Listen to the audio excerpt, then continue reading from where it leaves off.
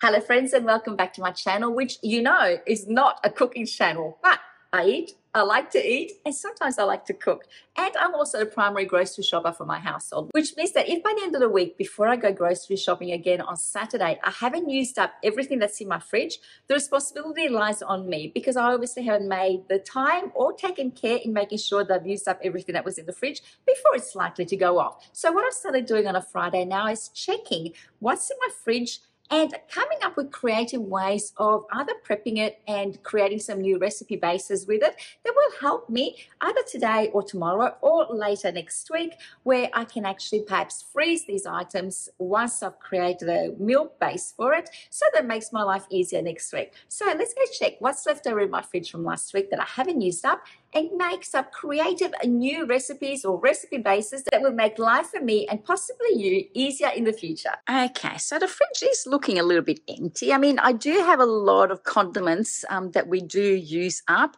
but you can see that I need some more tomato sauce. I'll have to check my pantry to make sure that I've got some and top everything up, give it a bit of a clean, but today is not the day for that. Today, I'm just checking to see what's in here that I haven't used up last week.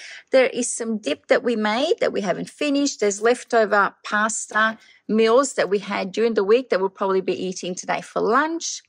Um, it's not looking too bad. There's leftover dip that we made, cold meats, cheese, some caponata that I made last weekend because we had a Maltese feast night.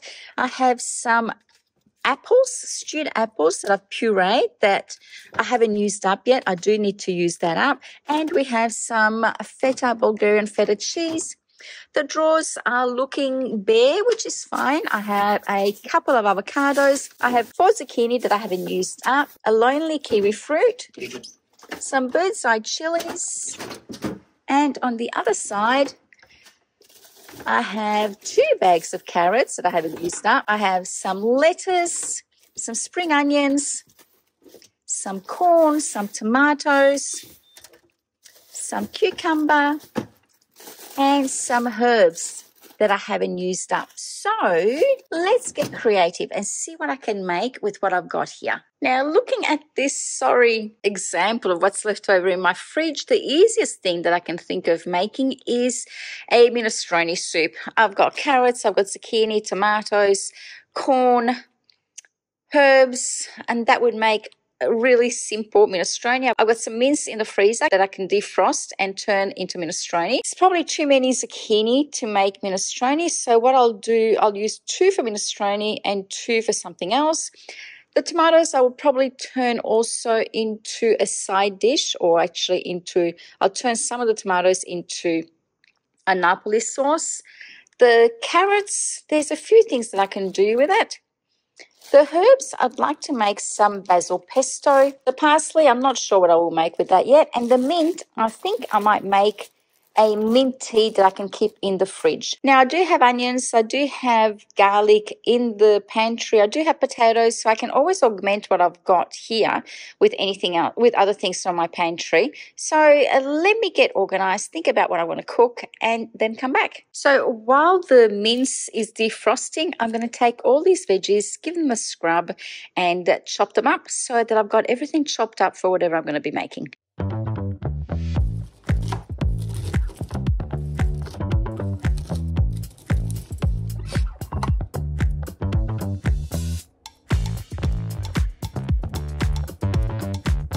So now that I've got everything chopped up and ready to go, I'm going to sit down, have some lunch, and uh, Google and see what recipes I can cook with the ingredients that I have here.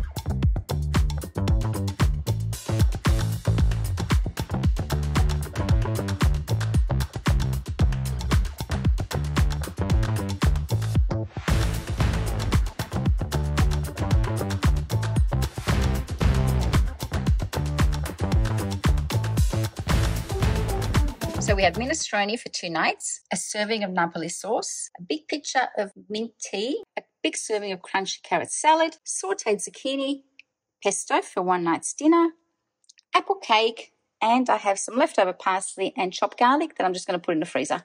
This is all that was left over in the fridge from last week. Thank you for watching. Until next time. Bye.